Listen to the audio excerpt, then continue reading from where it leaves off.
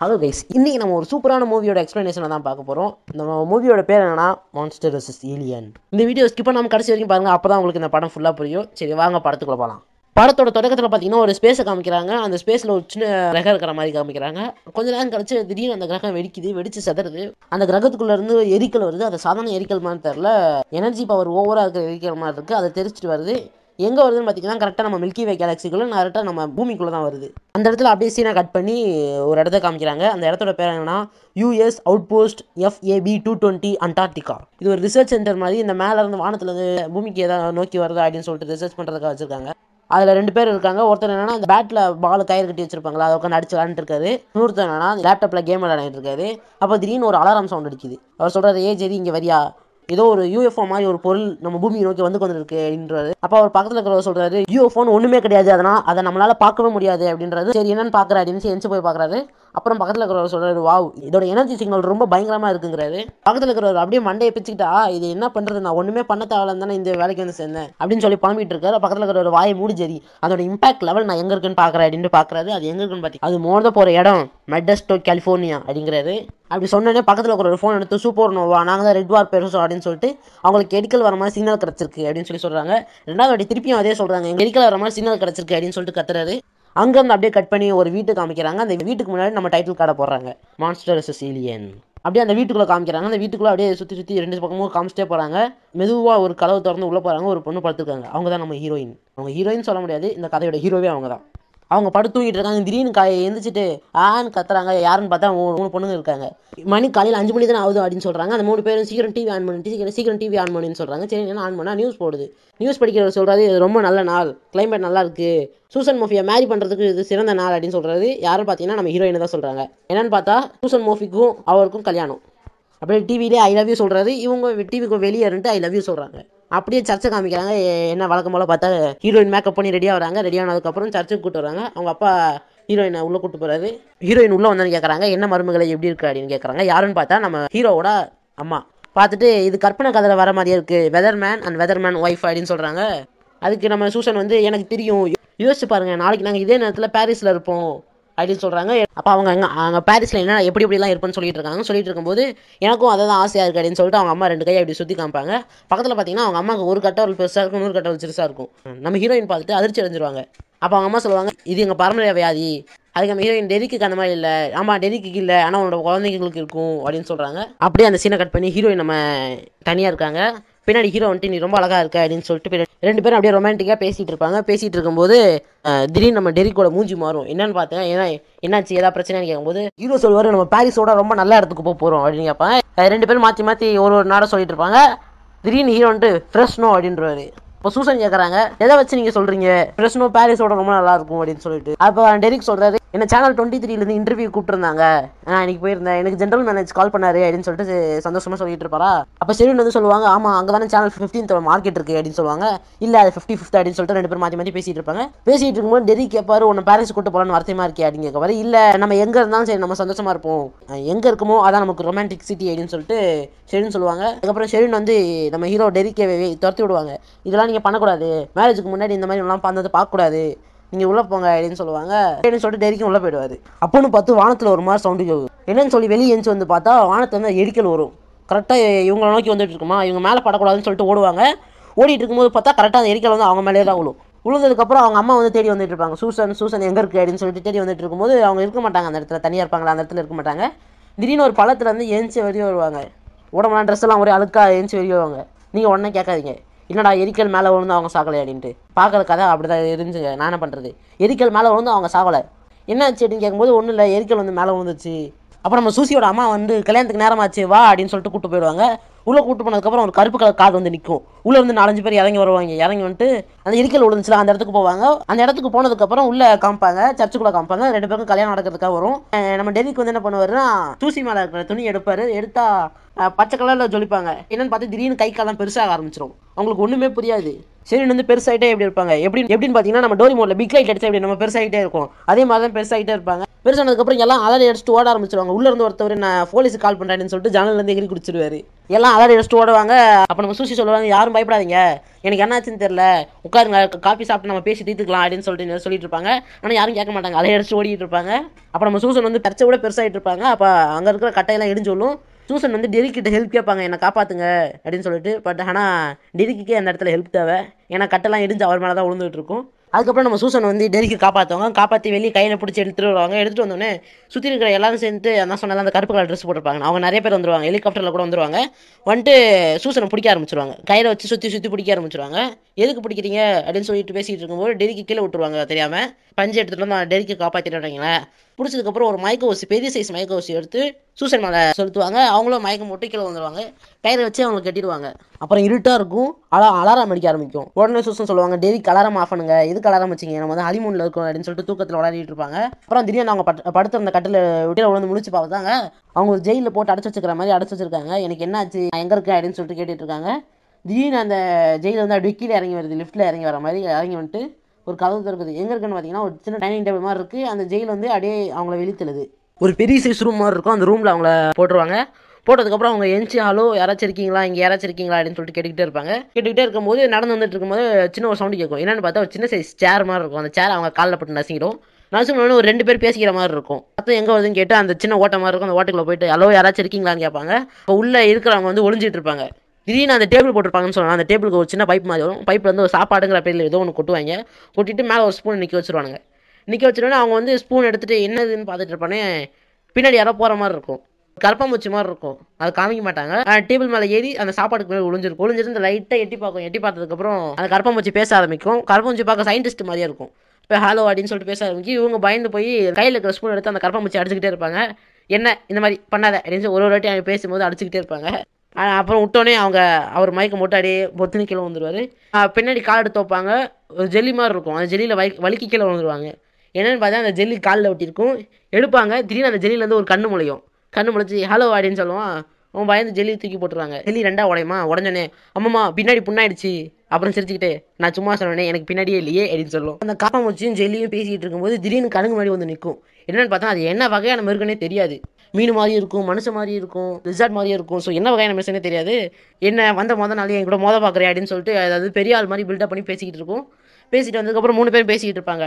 நம்ம ஜெயிலுக்கு ஒரு புது லேடி மான்ஸ்டர் வந்திருக்கு. அப்போ சொல்லி சொல்லி இது லேடியா அது பையன் தான் பாடினுவான் காக்ரோச் சொல்லும். அதாவது எப்படின்னா அதை காக்ரோச்னு சொல்ல முடியாது சயின்டிஸ்ட்னு சொல்ல முடியாது. ரெண்டு கலந்த கலவை. அதை சொல்லும் நம்மளோட முதல் சந்திப்பே இது மாதிரி சரியில்லாமல் இருக்குது அப்போ அந்த மீன் மான்ஸ்டர் வந்து சொல்லும் ரொம்ப நாள் கழிச்சு யாரோ ஒரு மான்ஸ்டர் வந்திருக்காங்க அது ஒரு மம்மியாக இருக்கலாம் இல்லாட்டினா காடு தெரிஞ்ச யாராவது இருக்கலாம் இருக்கலாம் அப்படின்னு சொல்லும். உடனே அந்த கரப்பாம்பூச்சி வந்து கேட்கும் ஹலோ மிஸ்டர் உங்கள் நேம் என்ன? அப்படின்னு கேட்கும். சூசன் அப்படின்னு சொல்லுவாங்க. அதுக்கு அந்த ஜெல்லி வந்து இல்லை இல்லை உனக்கு வேற நேம் இருக்கும். மக்கள் உன்னை என்னன்னு சொல்லி கூப்பிடுவாங்க. அங்கே பாருங்க அப்படின்னு சொல்லிட்டு என்னன்னு சொல்லி கூப்பிடுவாங்க அப்படின்னு சொல்லும். நம்ம ஹீரோயின் சூசன் அப்படின்னு சொல்லிட்டு நார்மலாக சொல்லுவாங்க. ஆ ஜெல்லியும் உண்மையாவா? சரி ஓகே இதே நல்லா தான் இருக்கும் ஜூ சன் அப்படின்னு பேய் படத்தில் வர மாதிரி சொல்லும் ஏ பாருங்கப்பா நானே பயந்துட்டேன் அப்படின்னு சொல்லிட்டு ஜெல்லி சொல்லிட்டு இருக்கோம். திடீர்னு ஒரு சவுண்டு கேட்கும் என்னென்னு பார்த்தீங்கன்னா அந்த மூணு பேருக்கும் சாப்பாடு போடுவாங்க. சாப்பாடு வரப்போகுது அப்படின்னு சொல்லிட்டு மூணு பேரும் போய் டேபிள் உட்காருவாங்க. அந்த மீன் மாதிரி ஒரு மான்ஸ்டர் இருக்கும் நல்ல பல்லி லிசாடி அது என்ன ஒரு வகையான மான்ஸ்டர்னே தெரில அந்த மான்ஸ்டருக்கு வந்து மீன் போடுவாங்க சாப்பாடா. காக்ரோச் இருக்குல்ல காக்ரோச் மான்ஸ்டர் அதுக்கு வந்து பழைய குப்பையெல்லாம் போடுவாங்க. அந்த ஜெல்லிக்கு வந்து அந்த ஜெல்லிக்கு மேலே ஒரு சிக்கன் பீஸ் மாதிரி போடுவாங்க லெக் பீஸ் மாதிரி. அந்த லெக் பீஸ் அப்படியே அது உள்ளே வாங்கி டைஜஸ்ட் பண்ண ஆரம்பிச்சிடும் அதுக்கு சூசன் பார்த்துட்டு இதான் சாப்பாடா? இல்லை. கல்யாணத்தன்னைக்கு நரம்பு தளர்ச்சி ஆகி நான் மென்டல் ஹாஸ்பிட்டலில் இருக்கேன். இதெல்லாம் என்னோட கற்பனை அப்படின்னு சொல்லிட்டு பின்னாடி போயிட்டு இருப்பான் பின்னாடி போய் பார்த்தோன்னா எதுவும் மேலே இடிச்ச மாதிரி இருக்கும். இன்னும் திரும்பி பார்த்தா ஒரு பூச்சி மாதிரி இருக்கும். இன்செக்ட் மாதிரி இருக்கும். அது மேலே போ மோதிட்டு பார்த்துட்டு கத்த ஆரம்பிச்சிருமா வான்ட்டு. இவளும் பார்த்துட்டு க- கத்திட்டு பயந்துட்டு ஓட ஆரம்பிச்சிடும் ஓடிட்டு போய் இங்கே கதவு இருக்குமே கதவு எங்க சொல்லிட்டு கதவை தேடிட்டு இருப்பா சூசன். அப்போ அந்த பலி லிசார்ட் மான்ஸ்டர் வந்துட்டு கிட்ட வந்துட்டு பயமுடுத்தாத இன்செக்டோ இன்செக்டோசாரஸ் அப்படின்னு சொல்லிட்டு சொல்லிட்டு இருப்பானா. உனக்கு ஒன்று வயிற்றுல தலைவனா பிடிக்கல அப்படின்னு சொல்லிட்டு தடவிட்டே இருப்பான். அந்த இன்செக்டோசாரஸும் அப்படியே ஜாலியாக காலாடிச்சிட்டு இருக்கும். உண்மையை சொன்னால் அந்த இன்ட் இன்செக்டோசாரஸ் செம்ம க்யூட்டாக இருக்கும். ஏன்னா சைஸ் தான் கொஞ்சம் பெருசாக இருக்கும். மற்றபடி க்யூட்டாக தான் இருக்கும். அப்போ சூசன் வந்துட்டு கதவை தட்டிகிட்டு இருப்பா. யாராவது கதவு தொடங்க அப்படின்னு. அப்போ அந்த மனுஷன் சொல்லும் என்ன கத்தியும் பிரயோஜனம் இல்லை. யாரும் வரமாட்டாங்க. அப்படின்னு சொன்னால் அந்த கதவு திறக்க ஆரம்பிச்சிடும் யாரும் பார்த்தா இருட்டுக்குள்ளே சின்ன ரெண்டு சிவப்பு கலர் கண்ணு மாதிரி இருக்கும். என்ன அப்படின்னு எல்லாம் பயந்துட்டு பார்த்துட்டு இருப்பாங்க சூசன். திடீர்னு அவர் உள்ளே இருந்து ஒரு ஆஃபீஸர் வருவார். ஆஃபீஸர் வந்துட்டு மாஸ்டர்ஸ் எல்லாம் அவங்க இடத்துக்கு போங்க. அப்படின்னு சொல்லிட்டு கத்துவாரா? சரி அப்படின்னு சொல்லிட்டு மற்ற நாலு மாஸ்டர்ஸும் அவங்க எல்லாத்து இடத்துக்கு போயிட்டு இருப்பாங்க. அப்போ சூசன் சொல்கிறாங்க எப்படியோ ஒரு மனுஷனை சந்திச்சிட்டேன். நீங்கள் மனுஷன் தானா இல்லாட்டினா அந்த பாதி மனுஷன் பாதி மிஷின் அப்படின்னு சொல்லுவாங்க. அதுக்கு பேர் கூட ஏதோ ஒருமை அப்படின்னு யோசிச்சுட்டு இருப்பாங்க அப்போ அந்த அவர் சொல்லுவார் அதுக்கு பேர் சைபாக். அச்சோ அப்போ நீங்கள் சைபாக்கா அப்படின்னு சொல்லிட்டு கேட்பாங்க இல்லை நான் மனுஷன் தான் என் பேர் ஜென்ரல் டபிள்யூ ஆர் மாங்கோ அப்படின்னுவாரு. நான் தான் இந்த இதுக்கு இன்சார்ஜ் அப்படின்னு சொல்லிட்டு வாங்க என் கூட வாங்க. உங்களுக்கு நான் தெளிவாக புரிய வைக்கிறேன். அப்படின்னு சொல்லிட்டு கூட்டு போவார். எங்கன்னு பார்த்தீங்கன்னா ஒரு சின்ன பெரிய கதவு திறங்கும் அந்த கதவு திற அந்த கதவு வழியாக வெளியே போவாங்க. அது எக்ஸிலேட்டர் மாதிரி வச்சு தள்ளி அடி தள்ளிட்டே போயிட்டு இருக்கும் அந்த ஜென்ரல் சொல்லுவார் இந்த இந்த இடம் எப்படி வந்துச்சு? அப்படின்னு சொல்லிட்டு அவங்க கிட்ட சொல்லிட்டு இருப்பாரு. அது என்னன்னா ஆயிரத்தி தொள்ளாயிரத்தி ஐம்பதுல மக்கள் மான்ஸ்டர்ஸை பற்றின உண்மையை நம்ப மாட்டேங்கிறாங்க அப்படின்னு சொல்லிட்டு ஜேனும் ஜேவும் முடிவு பண்ணியிருக்காங்க. முடிவு பண்ணோடனே அவங்க மக்கள் வந்து டேக்ஸை பற்றி தான் கவலைப்பட்டு இருந்தாங்க. அதனால அரசாங்கம் மான்ஸ்டர்ஸ்லாம் வெறும் கட்டுக்கதை தான் அப்படின்னு சொல்லிட்டு நிரூபிச்சு இந்த இடத்துக்கு கூட்டிகிட்டு வந்து அடை அடைச்சி வைக்க சொன்னாங்க. அப்படின்னு சொல்லிட்டு ஒரு சின்ன கதை மாதிரி இருக்கும். ஒரு திறந்து பார்த்தா பெரிய இடமா இருக்கும். சரி அப்படின்னு சொல்லிட்டு அவங்க அப்படியே லிஃப்ட்டில் தூக்கிட்டு போகிற மாதிரி மேலே தூக்கிட்டு போவாங்க. அப்போ சூசன் சொல்லுவாங்க நான் மான்ஸ்டர்ஸ்லாம் இல்லை. நான் சாதாரண மனுஷன் தான். என்னால் யாருக்கும் ஆபத்து இல்லை. அப்படின்னு சொல்லிட்டு கையாசிப்பாங்க. பக்கத்தில் இருந்தால் ஒரு ரெண்டு ஹெலிகாப்டர் வந்து சுற்றிக்கிட்டே இருக்கும்ல. அது ஒரு ஹெலிகாப்டரில் வந்து அவங்க கைப்பட்டு ஹெலிகாப்டர் உடஞ்சி கீழே வந்துடும் அது ஹெல்ப் பண்ணலான்னு வருவாங்க. அந்த ஹெலிகாப்டர் இருக்கிறது வேணாம் நானே பார்த்துக்கிறேன் அப்படின்னு சொல்லிட்டு சொல்கிறாரு அப்போ சூசன் கேட்பாங்க நான் எவ்வளோ நேரம் இங்கே இருக்கணும்? அது கணக்கே இல்லை அப்படின்னு நான் எங்கள் அப்பா அம்மா கிட்ட பேச முடியுமா? முடியாது. டெரிக்கிட்ட முடியாது. எங்கே இருக்குன்னு அவங்களுக்கு தெரியுமா? தெரியாது. தெரிஞ்சுக்கவும் முடியாது. ஏன்னா இது ரொம்ப சீக்கிரட்டான இடம். இது யாருக்கும் எங்கே இருக்குன்னு தெரியாது. அதெல்லாம் இதில் செக்யூரிட்டி வேறு ஓவராக இருக்கும். அப்படின்னு சொல்லிட்டு போயிட்டே இருப்பாங்க. திடீர்னு இன்னொரு டோர் திறக்கும். இன்னொரு டோர் திறந்ததுக்கப்புறம் பக்கத்தில் இருக்கிற நிறைய அதை பெரிய மாஸ்டர் சொன்ன இன்ஸ்பெக்டர்ஸ் அதை காமிப்பாங்க. அப்படியே வந்து எக்ஸலேட்டரில் அடி நான் வந்து போயிட்டு இருக்க மாதிரி போயிட்டு இருப்பாங்க அப்புறம் அந்த மீனும் பள்ளியில் கலந்த மாதிரி இருக்கும்ல அந்த இன்ஸ்ட அந்த மான்ஸ்டர் காமிப்பாங்க.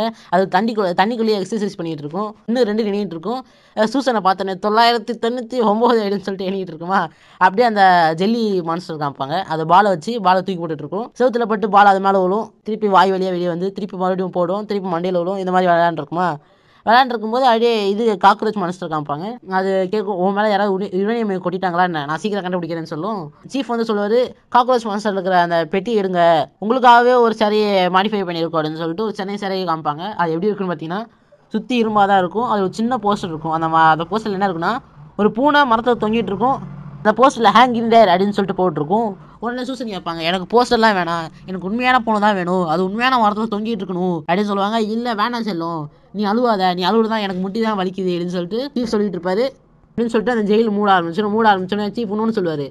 அரசாங்கமோட பேரை ஜெய்னாமிக்கா அப்படின்னு சொல்லிட்டு மாற்றிருக்கு அப்படின்னு சொல்லிட்டு சொல்லுவார். க உடனே கதவு முடியுமா இவங்க அழுதுகிட்டே போய் ஒரு ஓரமாக போய் உட்காந்து அழ ஆரம்பிச்சிருவாங்க.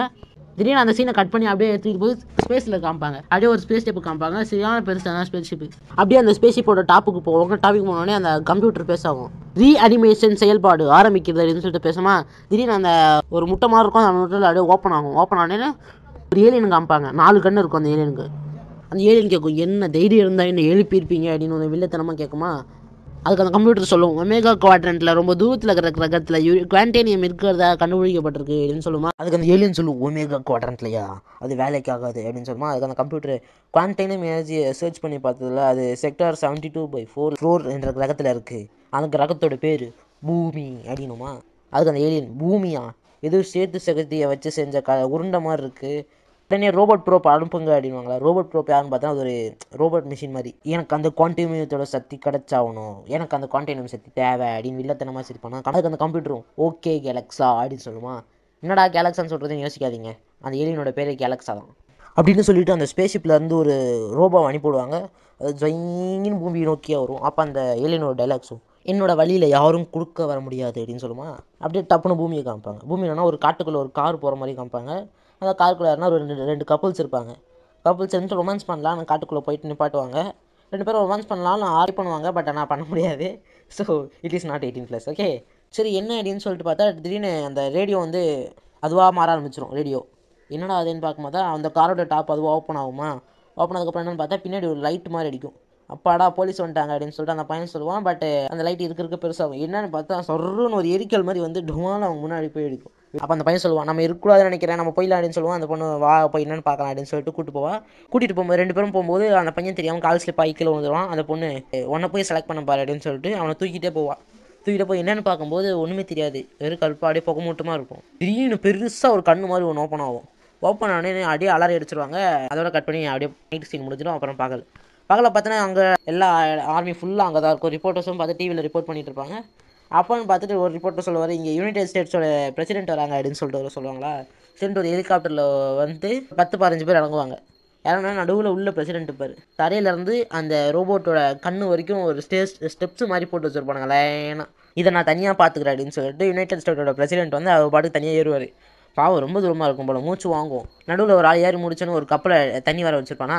அதை குடிச்சிட்டு அடியே ஏறுவார். ஏறி முடிச்சதுக்கப்புறம் அங்கே போய் பார்த்தா அவருக்கு முன்னாடி ஒரு கீபோர்டு மாதிரி இருக்கும் கீபோர்டுனா லேப்டாப் கீபோர்டு இல்லை அந்த music keyboard down down down down down down down down down down down down down down down down down down down இந்த சாங் ஆல்ரெடி நீங்கள் கேட்டு கேள்விப்பட்டிருப்பீங்க ஸோ இந்த சாங் தான் போடுவாரா அது பாட்டுக்கு பாட்டு வாசிச்சுட்டு அப்படியே டான்ஸ் ஆடிட்டு இருப்பாரா கடைசியாக முடிச்சோடனே மூச்சு அங்கே ஒரு அப்படியே அந்த ரோபோட்டை பார்ப்பாரு ரோபோட்லேருந்து ஒரு ரோபோட் கண்ணு கீழே ஒரு சின்ன டோர் மாதிரி ஓப்பன் ஆகும் ஓப்பன் ஆகி உள்ளேருந்து ஒரு பெரிய கை வரும் அப்படியே கை கொடுக்கலான்னு வரும் டப்புன்னு அந்த கீபோர்டு அடிச்சு உடச்சிரும் அப்படியே அந்த ரோபோட்லேருந்து ரெண்டு கை ரெண்டு கால் எழுந்து வெளியே வருமா?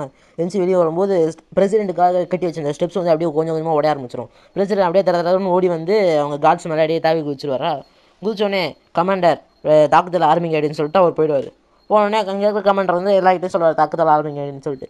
ஃபஸ்ட்டு சோஜர் சொல்லுவாங்க அது ஒன்றும் ஆகாது. அதுக்கப்புறம் பீரங்கி அதுக்கப்புறம் மிஷின் கன் எல்லாத்தையும் வச்சு சொல்லுவாங்க. ஒன்றுமே ஆகாது.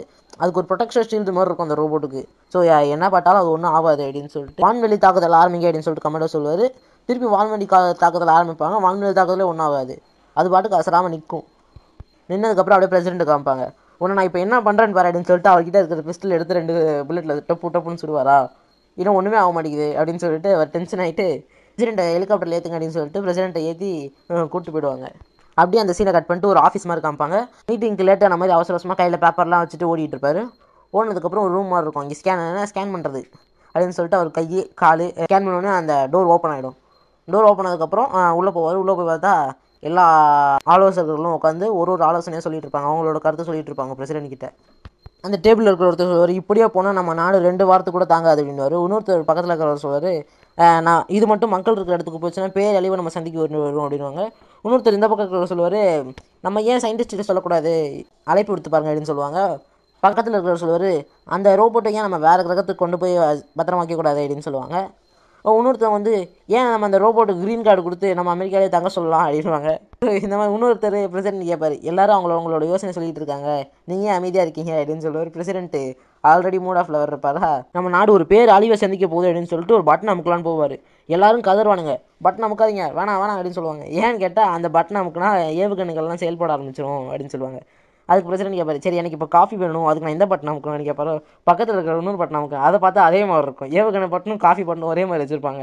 உடனே பிரசிடென்ட் பார்த்து எவன் அது இந்த மாதிரி வச்சிருக்கீங்க கேட்பாரா கூட்டத்தில் ஒரு சத்தம் வரும். நீங்கள் தான் சார் அப்படின்வாங்களா பிரசிடென்ட் சரி ஓகே வில்சன் நீ அவனை வேலையை விட்டு தூக்கு அப்படின்னு சொல்லிட்டு பே பிஏ கிட்ட சொல்லிட்டு காஃபி குடிச்சிட்டு எனக்கு இப்போ இதை இதுக்கு என்ன பண்ணுறதுன்னு ஒன்றுமே தெரியல அப்படின்னு வண்டியை பிடிச்சிட்டு வந்து நிற்பார் அப்படியே காஃபி குடிச்சிட்டு காஃபி ரொம்ப நல்லா இருக்கு என்கிட்ட ஒரு ஐடியா இருக்குது அப்படின்னு சொல்லிட்டு தூரத்தில் வந்து ஒரு சத்தம் வரும். யாருன்னு பார்த்தா அதான் நம்ம ஜென்ரல் எம்ஆர் பாங்கர். அவர் வந்துட்டு என்கிட்ட ஐடியா மட்டும் இல்லை. ஒரு நல்ல திட்டமும் இருக்குது அப்படின்னு சொல்லிட்டு அங்கே மேலே இருந்து குதிப்பார். அவர் ஜென்ரலில் ஸோ அதெல்லாம் மேலே இருந்து குதிப்பார். டப்புன்னு ஒரு பேரஷூட் வந்து அடியே கீழே இறங்குவார். அப்படியே பேராஷூட்லேருந்து கீழே குதிச்சுட்டு ஆயுதத்தை வச்சு நான் அந்த ரோபோட்டை நம்மளால் கட்டுப்படுத்த முடியாது நம்மளுக்கு தெரியும். அதோட அதுக்கு நல்ல யோசனை ஏவுகணையும் கிடையாது அப்படின்னு சொல்லுவாரா பிரசிடென்ட்டு ஆனால் அப்படின்னு சொல்லிட்டு இந்த ஏவுகணை மேலே கை ஏவுகணை பட்டன் மேலே கை வைப்பார். எல்லாரும் வேணாம் வேணாம்னு சொல்லுவாங்க. நான் ஒன்றும் உங்ககிட்ட விளையாடல பிரசிடென்ட் இது ஒரு மோசமான காலகட்டம். நம்மக்கிட்ட மேரி மாதாவோட பவர் வேணும். அதுக்கு ஒரே ஒரு வழி மான்ஸ்டர்ஸ் அப்படின்னு வரா. பிரசிடென்ட் உடனே மான்ஸ்டர்ஸா நல்ல யோசனையாச்சு. இது ரொம்ப சுலபமாச்சு அப்படின்னு சொல்லிட்டு ஜென்ரலை பார்த்துட்டு நீ சொல்கிறது எனக்கு ஒன்றுமே புரியல அப்படின்னு க மொக்க பண்ணுறாரு அப்போ சொல்லுவார் கடந்த ஐம்பது வருஷமாக எங்கள் டீமும் நானும் ஒரு மான்ஸ்டர்ஸை பிடிச்சி வச்சுக்கிட்டு இருக்கோம். அதோட பேர் சொல்கிறதே ஃபெடரல் அஃபென்ஸ் அப்படின்வாங்களா கூட்டத்தில் அந்த சேரில் உட்காந்துட்டு இருக்கிற ஒருத்தர் அதுக்கு பேர் ஏரியா ஃபிஃப்டி அப்படின்னு அவரை மயக்க ஊசி போட்டு மயக்க வச்சுருவாங்க. அப்படின்னு சொல்லிட்டு அங்கே இருக்கிற எல்லார்கிட்டையும் ஒரு ஒரு மான்ஸ்டர்ஸாக இன்ட்ரடியூஸ் பண்ணுவாங்க. இன்செக்டோ சர்வஸோட படத்தை போட்டு இது பேர் தான் இன்செக்டோசாரஸ் அப்படின்வாங்களா பக்கத்தில் இருக்கிற ஒரு பொண்ணு வந்து கத்த ஆரம்பிச்சிருந்தேன் ஒரு நியூக்ளியர் வெப்பனுடைய எக்ஸ்போஷனால சின்ன பூச்சியாக இருந்தது. முந்நூற்றம்பது அடி உயரமான பூச்சியாக மாறிடுச்சு அப்படின்னு சொல்லுவார். இதோ இப்போ பார்க்க போகிறது தான் மிஸ்ஸிங் லிங்க் அப்படின்னு சொல்லிட்டு அந்த ஃபிஷர்மேனை காமிப்பார்.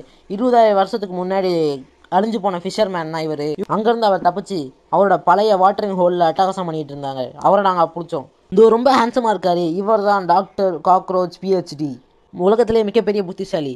இவர் கண்டுபிடிச்சது தான் சயின்டிஃபிக் மிஷின் மனிதர்கள்கிட்ட இருந்து காக்ரோச்சை எதிர்க்கிற சக்தி கிடை சக்தி கொண்ட ஒரு மிஷினை கண்டுபிடிச்சாரு என்ன ஒன்று அதை எக்ஸ்பிரிமெண்ட் பண்ண பார்க்கும்போது அவரே காக்ரோச்சாக மாடித்தார் அப்படின்னு சொல்லிட்டு அந்த காக்ரோச்சை காமிப்பாங்களா? திருப்பி அந்த மான்ஸ்டர் பார்த்துட்டு அந்த மேடம் கத்த ஆரம்பிச்சிருவாங்க. அதுக்கு எடுத்து போகிறோம் இதோ இப்போ நீங்கள் பார்க்க போகிறது தான் பாப் அப்படின்னு சொல்லிட்டு அந்த ஜெல்லி காமிப்பாங்களா? திருப்பி அந்த மேடம் கத்த ஆரம்பிச்சிடுறாங்க ஜென்ரல் கிராண்ட் ஆகிட்டு அவங்கள யாராவது பிடிச்சி வெளியே தருதுங்க அப்படின்னு சொல்லிட்டு துரத்தி விட்டுருவாங்க. ஒரு ஸ்நாக் ஃபுட் பிளான்ட்டில் ஜெனட்டிக்காக ஆர்டர் பண்ண டொமேட்டோவும் கெமிக்கலாக ஆர்டர் பண்ண ரான்ஸ் ஃப்ளேவரோட டெசர்ட் டாப்பிங் கூட இணைச்சாங்க இது மூலயமா சுயநலவை இழந்த ஒன்று உருவாச்சு. அதான் ஜெனிட்டிலின் அடுத்து காமிப்பாங்க. சமீபத்தில் எங்கள் சிறைக்கு வந்தது தான் ஜெய்னார் மிக்கா அப்படின்னு சொல்லிட்டு நம்ம ஹீரோயினை காமிப்பாங்களா? திருப்பி அந்த அலார சவுண்டு கேட்கும் யாருன்னு பார்த்தா நம்ம பிரசிடென்ட்டு அதுக்கப்புறம் எல்லாரும் பார்த்ததுக்கப்புறம் நல்லா அழகாக உட்காந்துட்டு நீங்கள் கண்டினியூ பண்ணுங்கள் ஜென்ரல் அப்படின்னு சொல்லுவாங்க. ஒரு எரிக்கல் இவங்க மேலே பட்டதுனால ஓ அதுக்குள்ளே இருக்கிற பவர்லாம் சேர்ந்து இவங்க அப்படியே பெரிய மனுஷனாக மாட்டாங்க ஸோ இவங்களால் மட்டும்தான் அந்த ரோபோட்டை அழிக்க முடியும் அப்படின்னு சொல்லுவாரா? அப்போ கூட்டத்தில் இருக்கிற ஒருத்தர் ஆல்ரெடி ஏலியனால் ஒரு பிரச்சனை வந்திருக்கு. இப்போ மான்ஸ்டர்ஸால் இன்னொரு பிரச்சனை வேறு வரப்போகுதுன்னு நினைக்கிறேன் அப்படின்னு வரா ஜென்ரல் கிட்ட வந்துட்டு அப்போ ஓங்கிட்ட ஏதோ ஐடியா இருந்தால் சொல்லு அப்படின்னு சொல்லிட்டு அவர் ஜட்டி பிடிச்சி மேலே தூக்கிடுவார் தூக்கினதுக்கப்புறம் எல்லாம் அலறுவாங்க என்ன இவர் இப்படி பண்ணுறது அப்படின்னு சொல்லிட்டு. சரி அப்படின்னு சொல்லிட்டு அப்படியே பிரசிடென்ட் கிட்ட நடந்து வர பிரசிடென்ட் பயந்து எந்திரிச்சிட்டு இல்லை நீங்கள் என் கிட்ட வராதீங்க. அங்கேயே இருந்து பேசுங்க. அப்போ பிரசிடென்ட் சொல்லுவார் நீங்கள் அந்த ஏலியன் அழிக்கிற வேலையை பாருங்கள் எனக்கு சம்மந்தம் தான் அப்படின்னு சொல்கிறாரு அப்படியே மான்ஸ்டர்ஸ் அடைச்சி வச்சிருக்க இடத்த காமிக்கிறாங்க. அங்கே பாபும் ஃபிஷ்மேனும் காட்ஸ் விளாண்டுருக்காங்க அடி இங்கே காக்ரோச் மேன் காமிக்கிறாங்க. அவர் என்ன பண்ணுறாருன்னா பீஸா டப்பா அதுக்கப்புறம் ஃபிஷ்மேன் கிட்ட இருந்த ரேடியோவில் இருக்கிற ஆண்டனா அப்புறம் இது பிரெட் ரோஸ்டர் ஸோ இதெல்லாம் வச்சு ஒரு மிஷின் மாதிரி கண்டுபிடிச்சி புது மாஸ்டர் இருக்காங்களே அதாவது நம்ம ஹீரோயின் ஜெய்னாமிகா. ஆ அவங்கள பழைய நிலைமைக்கு வாழ்றதுக்கு ஒரு ரிசர்ச் பண்ணி பண்ணிட்டு இருக்காரு. பண்ணிட்டு இருக்கும்போது சொல்கிறாரு என்னை யாருன்னு நினச்சிங்க? இப்போ காட்டுறேன் நான் யார் அப்படின்னு சொல்லிட்டு வில்லத்தனமாக சிரிக்கிறாரு. நான் இந்த மாதிரி உட்காந்துட்டு இருக்கும்போது என்ன வச்சு எக்ஸ்பிளைன் பண்ணிட்டு இருக்கும்போது வில்லத்தனமாக சிரிக்காதீங்க எனக்கு பயமாக இருக்குதுன்னு சொல்லி சொல்கிறாங்க பிஸ்மான் சொல்லுவான். நீனும் முட்டாள் மாதிரி இந்த எக்ஸ்பெரிமெண்ட்டை பல வருஷமாக தான் பண்ணிகிட்டு இருக்கு அப்படின்னு சொல்லிட்டு சொல்லிட்டு இருப்பானா நான் முட்டாள் இல்லை நான் சயின்டிஸ்ட் அப்படின்னு சொல்லிட்டு சொல்லிட்டு இருக்கும்போது இன்செக்டர் சரஸ் ஒரு மாதிரி கத்தும். கத்துனா அந்த ஃபிஷ்மேனுக்கு மட்டும் புரியும். நீ சொல்கிறது கரெக்டு தான். இதெல்லாம் வேலைக்கு ஆகாது. எல்லாம் வேஸ்ட் அப்படின்னு சொல்லுவானா. உடனே ஜெயனாமிக்கா சொல்லுவேன். என்ன என்ன தான் மனசு சொல்ல நான் நார்மலாக ஒரு சிக்ஸ் பாயிண்ட் எயிட் ஃபீட்டுக்கு வந்துட்டால் போதும். நான் வெளியே போயிடுவேன். நான் சுதந்திரமாக வாழுவேன். சந்தோஷமாக இருப்பேன். பிரச்சனை மட்டும் இல்லை அது டெம்பரவரி தான்.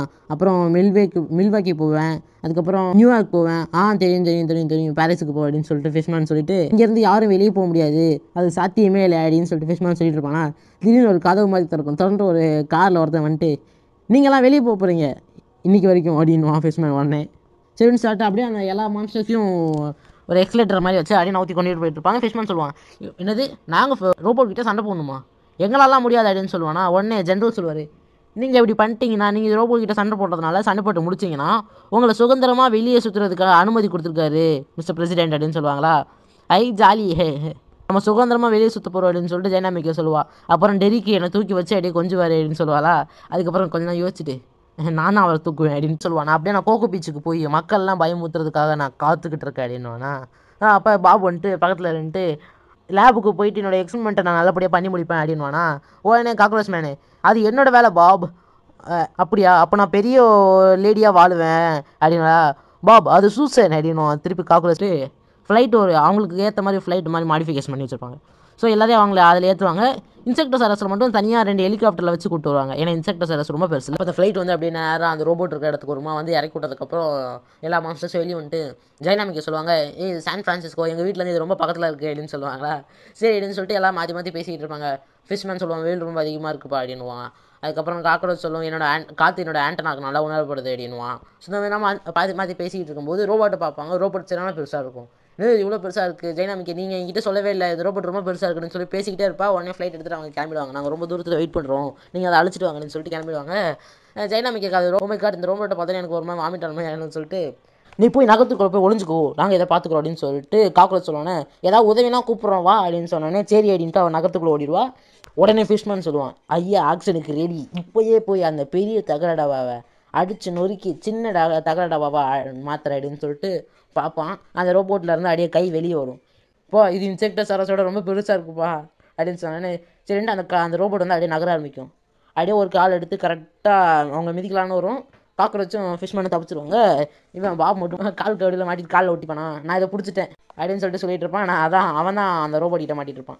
சரி அந்த ரோபோட் அப்படியே கிராஸ் பண்ணி நகரத்துக்குள்ள போனதுக்கப்புறம் இவங்க ரெண்டு பேரும் என்ன பண்ணுவாங்கன்னா காக்கரோச் வந்து லிங்க் கிட்ட சொல்லுவான் லிங்க்னா வேற இல்லை அந்த ஃபிஷ்மேன் தான் லிங்க் ஸோ லிங்க் கிட்ட சொல்லுவான் நீ நகரத்துக்குள்ளே போ.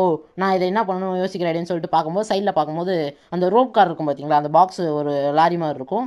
பார்த்துக்கப்புறம் இது என்ன பண்ணணும்னு எனக்கு தெரியும் அப்படின்னு சொல்லிட்டு நேராக இவ காமிப்பா ஜெயனாமிக்க காமிப்பாங்க. அவன் நகரத்துக்குள்ளே போய் ஒளிஞ்சிட்டு இருப்பான் திடீர்னு அந்த ரோபோட்டோட சவுண்ட் கேட்கும் ஒரு மாதிரி அப்படியே பில்டிங்லாம் அதிராக ஆரம்பிக்குமா ஒளிஞ்சிட்டு இருப்பாளா?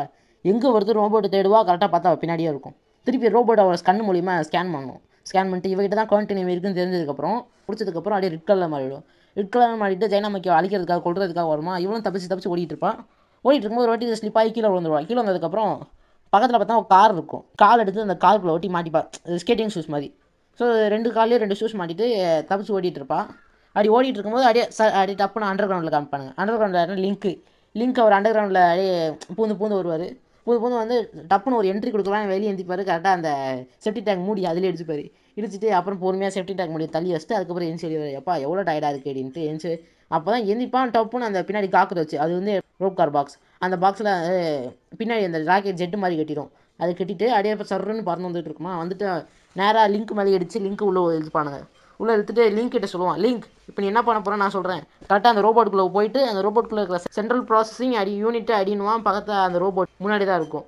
அப்படியே அந்த ரோபோட் கிட்ட எஸ்கேப் போயிட்டு அப்படியே நேராக போயிட்டு தண்ணி வந்துடுவாங்க போஸ்கிட்டு அப்படியே அந்த சீனை கட் பண்ணி ரோடை காமிப்பாங்க. ஏன்னா அங்கே இருக்கிற ஆர்மி மேன்ஸ்லாம் அங்கே இருக்கிற மக்கள்லாம் வெளியே ஏற்றிட்டு இருப்பாங்க பிரிட்ஜ் வழியாக ஸோ பிரிட்ஜில் வெளியேற்றிட்டு இருக்கும்போது கரெக்டாக அந்த நேரம் பார்த்து ஜெய்னா மேக்கே வர மக்கள் போகிற ரூட்லேயே கிராஸ் பண்ணி போயிட்டு இருப்பாள்? போயிட்டு இருக்கும்போது அப்படியே பிரிட்ஜில் கிராஸ் பண்ணுவான். பிரிட்ஜில் போயிட்டு இருக்கும்போது ஜெயலமிக்காக்கு முன்னாடி ஒரு ட்ரக் மாதிரி போகும். ட்ரக் மேலே வந்து சைடு மரில் பார்ப்பார் ட்ரக் டிரைவர் ஜெயலமிக்கா வரதை பார்த்து பயந்து போய் ட்ரக் அந்த பக்கம் இந்த பக்கம் கவுத்தி விட்டு கீழே விழுந்துவார் ஒரு கார் மாட்டில் அந்த ட்ரக் ஆக்சிடென்ட் ஆகும்போது ஸோ எல்லா காரும் பிளாக் ஆகிடும் அந்த எந்த பக்கம் எந்த பக்கம் போக முடியாமல் கார்ஸ்லாம் பிளாக் ஆகிடும் ஸோ கரெக்டாக அந்த ரோபோ வர கரெக்டாக பிரிட்ஜுக்கு நேரம் வந்துட்டு இருக்குமா? திரும்பி என்ன பண்ணுவா ஜெயலமிக்கா வந்து ட்ரக் எடுத்து மக்கள்லாம் காப்பாற்றிடுறோம் அதுக்குள்ளே அந்த ரோபோட் வந்துடும் ரோபோட் வந்து பிரிட்ஜை பாதியாக உடச்சிரும். அது உடச்சதால அந்த பிரிட்ஜில் இருக்கிற கம்பிலாம் நிறைய கம்பிஸ்லாம் இருக்கும்ல அதில் வந்து ரோபோட்டை ஒரு கையை அந்த கம்பியை பிடிச்சிரும் இன்னொரு கை தான் ஜெயனாமிக்கை இது பண்ணுறதுக்கு அந்த கைக்குள்ள ஒரு ட்ரில்லிங் மிஷின் மாதிரி இருக்கும்.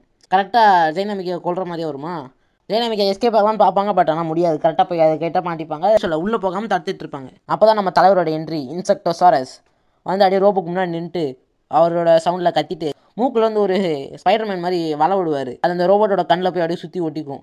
சுற்றி ஓட்டினதுக்கப்புறம் அந்த ரோபோட் தள்ளி போயிடுவோம். பின்னாடி நவுந்து போயிடணும். நவுந்து போனோன்னா பிரிட்ஜ் அப்படியே ஸ்ட்ரைட்டாக வச்சுட்டு லிங்க் காமிப்பாங்க. லிங்க் வந்துட்டு உனக்கு இப்போ தான் வர டைம் கிடைச்சதா? ஆமாம் வயசாயிடுச்சுல அப்படி தான் இருக்கும் அப்படின்னு சொல்லிட்டு திருப்பி வருவாங்க. உனக்கு எனக்கு ஏதாவது ஹெல்ப் வேணும் அப்படின்னு சொல்லிட்டு ஜெயநம்ப கேட்பாங்களா இப்போ நான் அதை பார்த்துக்கிறேன் அப்படின்னு சொல்லிட்டு ரோபோட் மேலே எகிரி குதிப்பார். ரோபோட் மேலே அந்த ஷீல்டு இருக்கும்ல. ஸோ அது மேலே பட்டு திருப்பி கார்லேயே விழுந்துருவார். லிங்க்கு அதுக்கப்புறம் தான் டாக்டர் காக்ரோச்சுக்கு புரியும். ஓ ரிஃப்ளெக்டர் ஷீல்டு இருக்கா? இது மாதிரி ரோபோட் மேலே அப்படின்னு சொல்லிட்டு ஜெயநாமிக்கா மேலே ஏறி அப்படியே அந்த ரோபோட்டுக்குள்ளே போயிடுவார். ஜெயநாமிக்கா வந்து பாப் கிட்ட சொல்லுவாங்க எனக்கு உதவி பண்ணு. இந்த கார்லாம் இந்த பிரிட்ஜை விட்டு அப்புறப்படுத்த அப்படின்னு சொன்னோன்னே பாப் என்ன பண்ணப்போ காரை தூக்கி பிரிட்ஜை விட்டு கீழே போகலான்னு வருவாப்பில். பட் ஆனால் இது பாப் நீ அந்த டிவைஸ் எடு அவங்கள விடு அப்படின்னு சொன்னோன்னே இது முன்னாடியே சொல்ல வேண்டியதானப்பா அப்படின்னு சொல்லிட்டு டிவைடர்ஸ் எடுப்பாங்க. அவங்களும் அப்படியே கிராஸ் பண்ணி வெளியே போயிடுவாங்க பிரிட்ஜை விட்டு.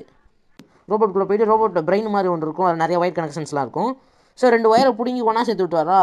ஒன்றா சேர்த்து விட்டோன்னே அவர் கண் அந்த ரோபோட்டோட கண்ணிலேருந்து ஒரு ஹிப்னாட்டிக் ரேஸ் மாதிரி வந்து இன்செக்டர்ஸ் சார் ஒரு மாதிரி மயக்க ஆரம்பிச்சிடும் ஜெனமிக்கா சொல்லுவாங்க இன்செக்டர் வந்து நவுந்து போ அப்படின்னு சொல்லி சொல்லுவாங்க பட் ஆனால் நவுந்து போக முடியாது. இது என்ன பண்ணலாம்னு யோசிக்கும் போது அதான் ஆல்ரெடி ஒரு கை கையில் அந்த இரும்பு கம்பியில் மாட்டிகிட்டு இருக்கும்ல. இப்போ என்ன பண்ணுவாங்கன்னா இந்த பக்கம் ஒரு கயிறு இழுத்து அந்த ரோபோவை எப்படி இருந்தால் எப்படியாச்சும் பிரிட்ஜுக்கு கீழே தள்ளி விடலாம்.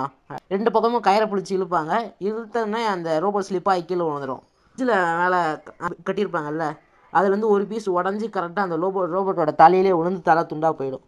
துண்டாக போனதுக்கப்புறம் சொல்லவே தேவையில்ல அந்த ரோபோட் டீஆக்டிவேட் ஆகிடும் சரி பிரிட்ஜ் உடையிற மாதிரி இருக்கு சொல்லிட்டு லிங்கையும் காக்ரோச் அவர் ஆல்ரெடி எஸ்கேப் ஆகி வந்துடுவார் ஸோ ரெண்டு பேரையும் த தள்ளி கூட்டிகிட்டு வந்துடுவாங்க கூப்பிட்டு வந்ததுக்கப்புறம் அப்படியே பார்ப்பாங்க. அப்படியே ஒரு நம்ம அந்த ஏலியன் அனுப்பி விட்டாங்கல்ல அவங்க ஸ்பேஷிப்புக்கு போகும்.